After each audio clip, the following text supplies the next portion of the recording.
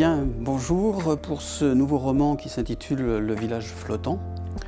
Je voudrais convier les, lecteurs à un grand voyage, un voyage qui va nous conduire depuis la Sibérie extrême-orientale, plus précisément l'île de Sakhaline, en passant ensuite par l'Europe, par l'Amérique latine, plus particulièrement le long des, côtes de l'Argentine, du Chili, en remontant sur l'Amérique du Nord, la Sunshine Coast, remontant jusqu'en Alaska.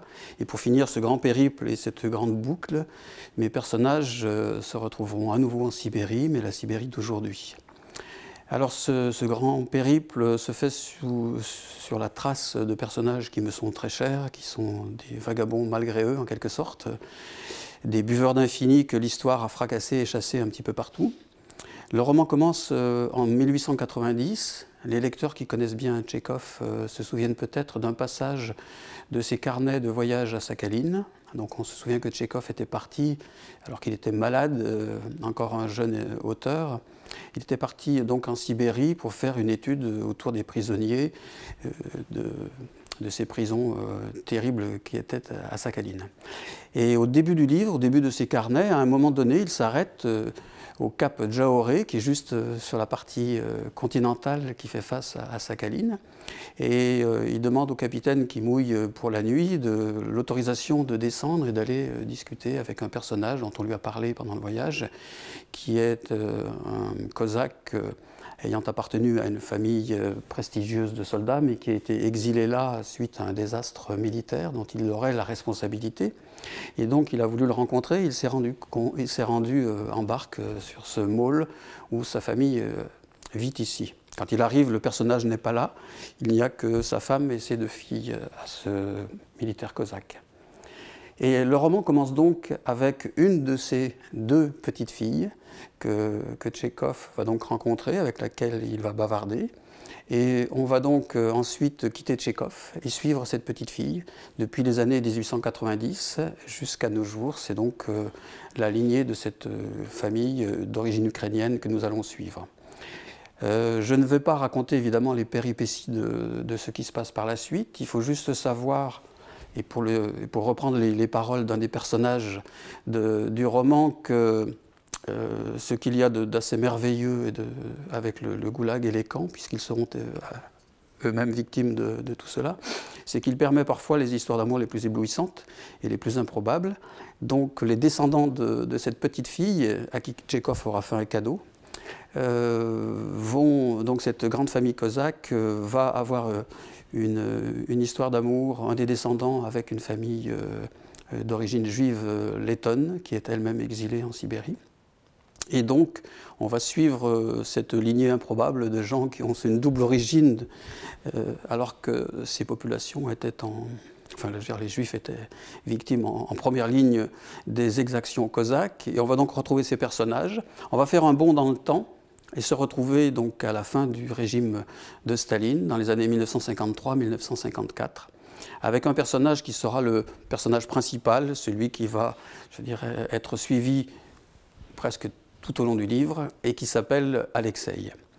Euh, à ce moment-là, Alexei est né dans un camp, parce qu'il y a effectivement des enfants qui naissent dans les camps. Il a été séparé très très vite de celui qui est son père, Pavel, et de sa mère, qui va mourir peu de temps après. En 1954, des, des, prisonniers sont libérés. donc, Pavel fait partie de ces prisonniers et il n'aura qu'une obsession, c'est de retrouver son fils qu'il n'a jamais encore vu, euh, qu'il n'a même euh, jamais aperçu à l'intérieur du camp. Il va, avoir comme ça un périple assez extravagant. Euh, il va traverser des régions entières à la poursuite de cet enfant qu'il n'a pas vu. Il finira par le retrouver.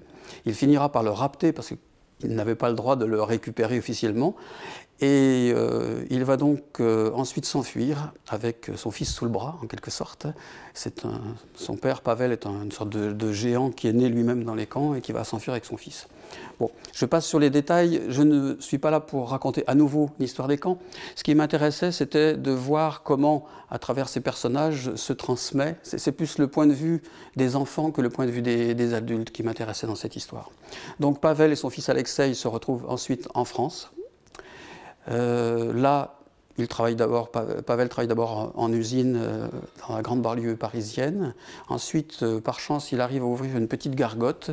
Et là, euh, on va découvrir tout un univers de personnages qui me sont assez familiers, qui sont des, exilés justement de, cette période-là, qui viennent de toutes sortes d'horizons, de pays différents. Il y a des Ukrainiens, il y a des Sibériens, il y a des Russes, il y a des Lettons, il y a des Juifs, il y a d'autres populations, d'autres confessions religieuses.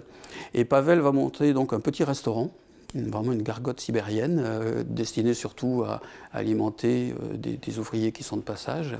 Et cette enfance, un petit peu comme dans, les contes traditionnels, euh, va devenir, pour tous ces gens qui ont des vies de famille fracassées, presque tous n'ont plus de famille, plus d'enfants, je veux dire, c'est le dernier survivant de, qui leur reste, tous vont se pencher sur lui en quelque sorte, et c'est leur ultime espoir d'une vie meilleure. Et on va donc suivre dans le livre euh, l'histoire de cet enfant et voir ce qui lui arrive, parce que lui-même va devoir quitter la France et commencer ce grand périple dont j'ai parlé au début. Alors on sait euh, qu'un bon roman, comme on le dit souvent, c'est trois choses. C'est premièrement des histoires, ensuite des histoires, et troisièmement, pour finir, des histoires. Mais tous les amateurs de littérature savent aussi que la littérature, c'est beaucoup plus que des histoires. Et ce qui m'intéressait ici, c'était derrière, euh, je dirais, l'épopée et les événements que l'on peut, peut narrer, raconter, cette espèce d'appétit formidable de vivre qui nourrit ces personnages.